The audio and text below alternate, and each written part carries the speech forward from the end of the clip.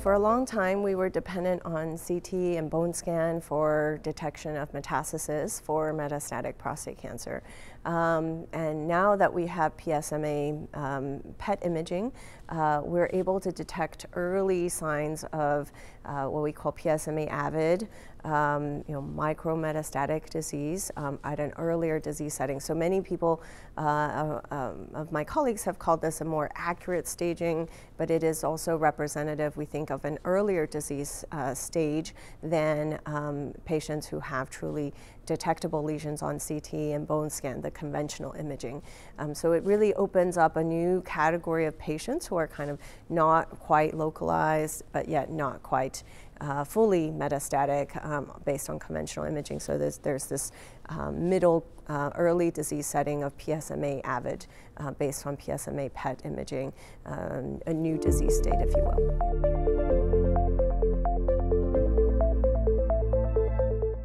So we took a deep dive on patients who um, had undergone uh, PSMA PET imaging at uh, UT Southwestern.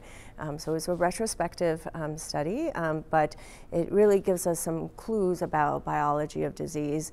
Um, so what we found was that people with PSMA PET positive but CT negative um, uh, metastatic disease, um, or uh, they had better prognosis um, and better outcomes uh, than pa patients who had PSMA positive and CT positive disease. So those curves separated nicely in terms of PSA progression-free survival as well as um, time to castration resistance. Um, so this is really a uh, early disease biology. It's very sensitive to hormonal therapy, and these patients ultimately do better in the longer term.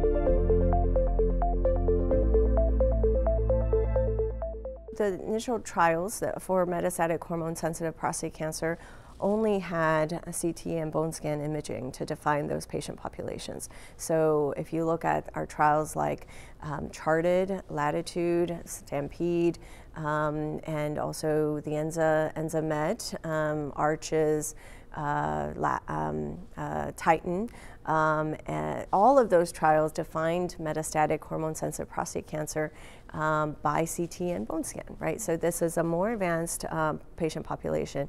And what we um, what we showed in this study was that there are differences in patients, more higher patients um, uh, diagnosed with de novo metastatic disease um, in those patient populations, and also in um, the patients who had um, uh, the higher uh, PSAs at the time of um, CT positive, uh, CT and bone scan positivity versus PSMA uh, positivity on the PET scans. so it really is a different category of disease disease, and we should be trying to counsel our patients accordingly um, based on um, their disease biology. So if it's only PSMA positive on PET scans, but CT bone scan negative, you know, that, that's a much better outlook um, and uh, more indolent biology, if you will.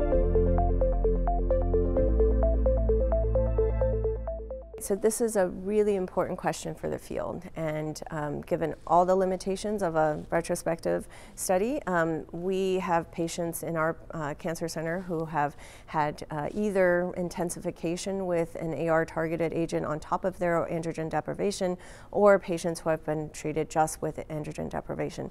And what we showed in this uh, in this deep dive is that um, the patients um, uh, who were uh, who had AR intensification with another oral therapy therapy um, had very similar outcomes in terms of uh, PSA progression, in terms of time to castration resistance, as the patients who only had ADT alone. Um, now, the, the, the, jury is definitely still out, right? There's multiple prospective trials um, that are ongoing um, that will help us answer that question. But the good news is um, that these patients ultimately do very well and very similarly um, if we treat them with ADT alone or with ADT and um, AR targeted therapies. so, you know, there's patients who will say, you know, I see, you know, PSMA PET, I see the lesion, right, and this is metastatic disease. And, you know, we'll say, yes, you're absolutely right, but these patients do very well overall, and despite giving uh, just hormonal suppression or adding an AR targeted therapy, we're doing very similarly in terms of overall outcomes. So that's reassuring.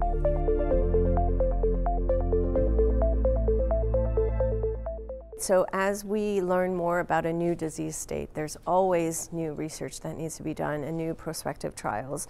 Um, so, I just told you that we saw very similar outcomes for androgen receptor intensification, right, with added therapy.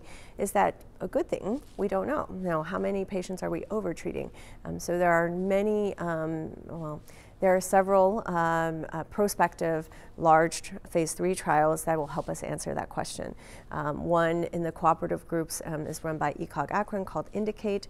Another one um, that um, I just learned about this conference is called PSMA Care. Uh, it's using uh, PSMA lutetium in that early PSMA positive but CT negative population. Um, and then another one is called ARASTEP. So Bayer is running a trial of PSMA positive disease uh, with um, darolutamide and, and, and, androgen deprivation versus androgen deprivation in this early category. And so um, I think we will see um, in the next coming years um, what uh, prospective randomization looks like and uh, whether these um, results um, give us a good inkling or not.